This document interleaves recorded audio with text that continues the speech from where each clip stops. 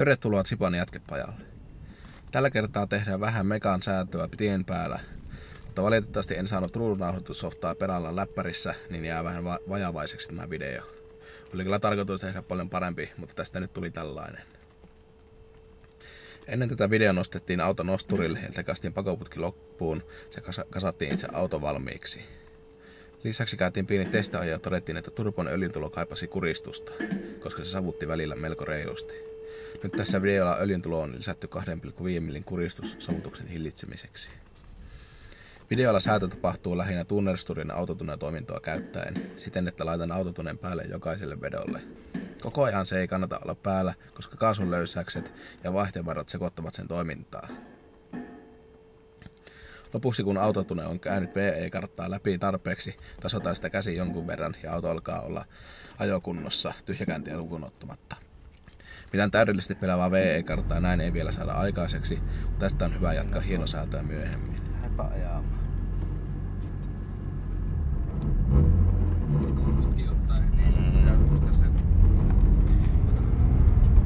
Ja pistäpä nyt heti vaikka vitonen silmään. Joo, mene sillä. Oi vittu tota mukkia. Heti rupesi jyrisemään ihan vitosta.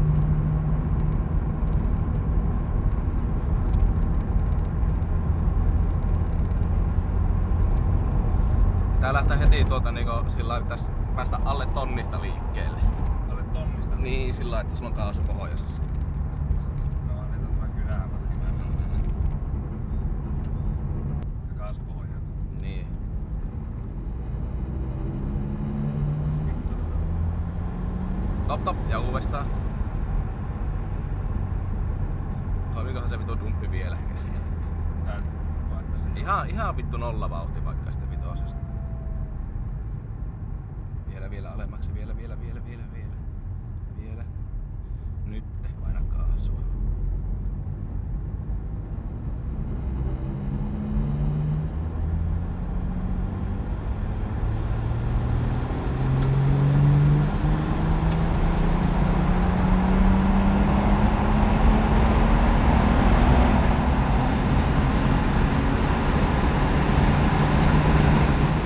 Joo!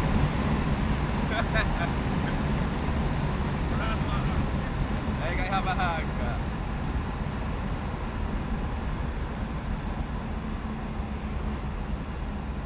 Ei alkaa vielä kärrytä.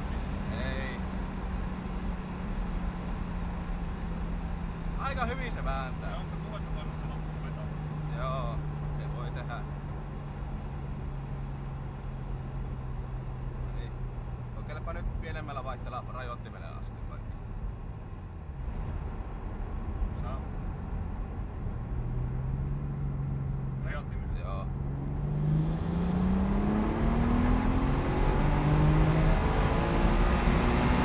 Vittu se vetää helvetin korkealle. Seitsemän tonnia. Meni yli. Älkää miksi. Se mittari näyttää pikkusen liikaa näköjään. Joo, tota... py- Sitten pystytkö nää yhtään tarkkailemaan sitä ahtopainemmittaria? Mä veikkaan, että se ei näytä kuin puolibaaria tuon mittari tuo. Joo, mut sillä, että saa se siinä nollan paikkeilla piettyä kaasulla sen. Kato, nyt meillä on ahto, ahtoalueella on hyvin kohdallaan. Mutta pitää saada niinku nyt alempaa.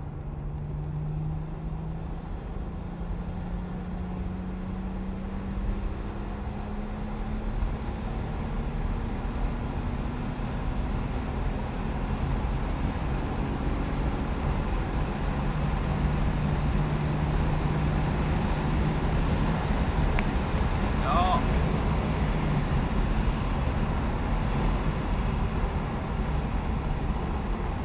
Aika hyvin käänny tuolla ja uudestaan sama. Se on hyvä asia. Joo. Hyvin tämä tunnustaa pelaa. Se tippuu peili ihan justiinsa.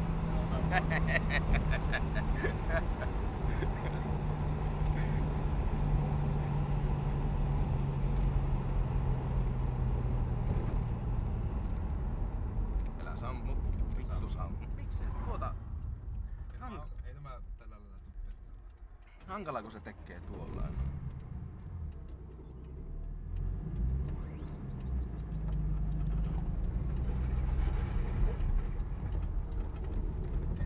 Miten, miten tuo tyhjäkäynti meni nyt tuommoiseksi? Joo, kun se jotenkin se vähän, mä keksin, pikkusen se vaihtelee tuo aina tätä se pitää ihan ok. Niin, ja mä tota, pikkusen kun rukkasin, niin se meni huonoksi. Mä en tiedä, se vähän niinku vaihtelee, että mitä se pitäisi olla. Niin. Mitä vielä ennen, sitten kun pysäyttää, niin katsoa se. Joo, ei se vielä sanonut mitään tuo. Kokeillaan No niin. renkaat. Elää kokeile. Kokeile sillä lailla taas sillä lailla, että niinku koita pitää nollan paikkeilla.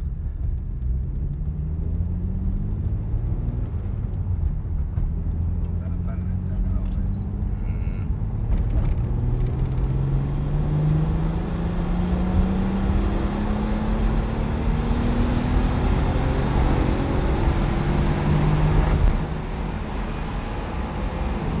Joo. Ja uudestaan sillä lailla, mutta kuin nollassa.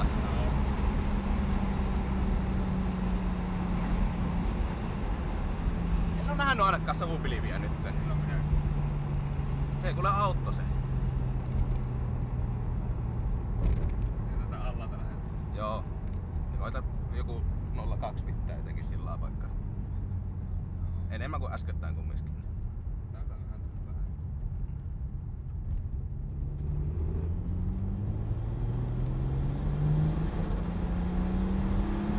Vähän vaikea tämä. Niin se on, kyllä mä tiedän. Joo.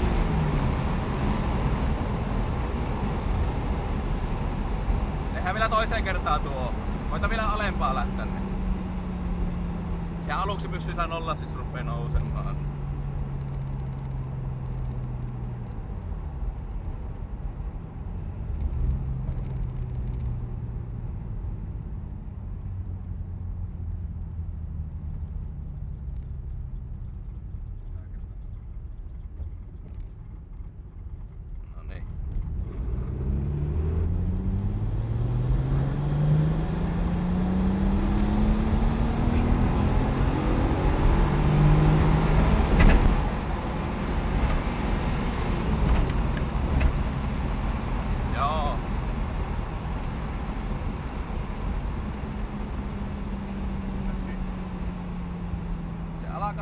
hyvää. Me ei tässä vaan noita, sitten hieroa noita ala-alueita, mutta se tuota...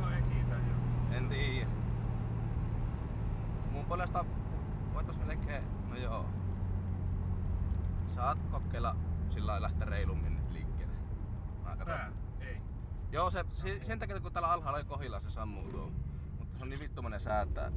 Tässä on tullut ihan uusia ääniä. Mm. Se on taas on kuitenkin ihan vitun rikkaalla. Hersikö näyttää? Ei se. Joo.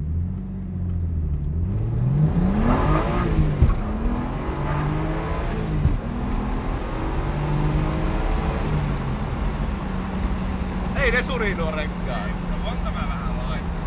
Niinkö meinaa? On. Ei uskalla ennakoita oikein pumpata ylöspäin, että se ei hajuu on.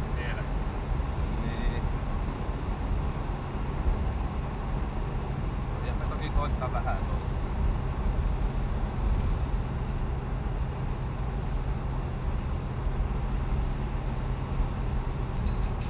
No niin, kokeilepa nyt.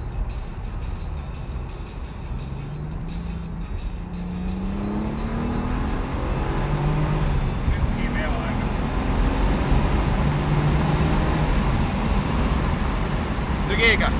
Vähän tunnustaa nyt kiinni. Joo, Ihan. meni liikaa.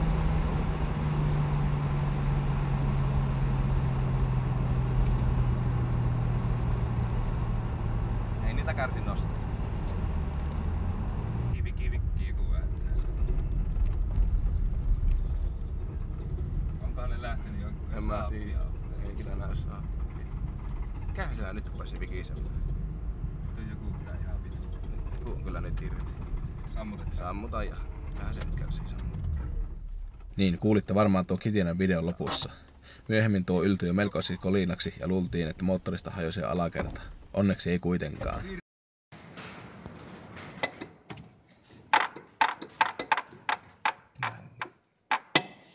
Jep.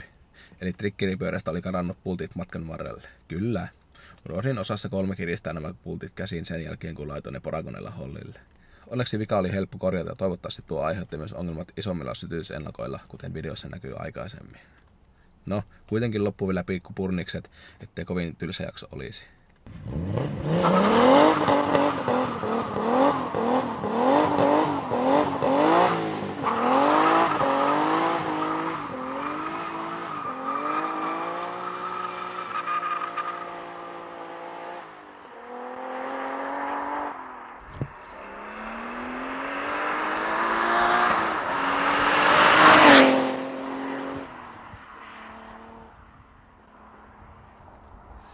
Seuraavan osan sisältö on vielä vähän auki, mutta eiköhän me jotain keksitä jatkoa.